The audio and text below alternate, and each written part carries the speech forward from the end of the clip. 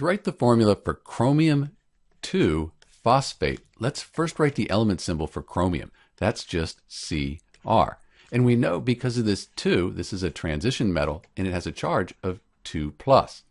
For the phosphate, we see this ATE at the end. You're not going to find this on the periodic table. This is a polyatomic ion. You either memorize that the phosphate ion, that's PO4 3 minus, or if you're allowed, you look it up on a table of polyatomic ions.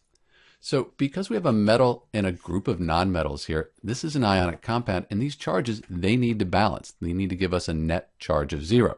Right now we have a 2 plus and a 3 minus, so that's a little bit difficult. The way we'll do this is use something called the crisscross method. We can take the 2, move it out here, and the 3 over here. Let's get rid of these symbols here.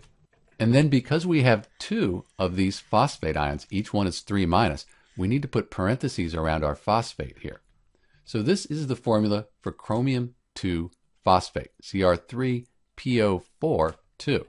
Let's check our work though. So we said chromium here, that has a charge of 2 plus, and the whole phosphate, each one, is 3 minus.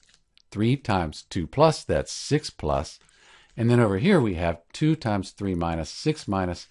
These two numbers, they add up to 0, give us a net charge of 0.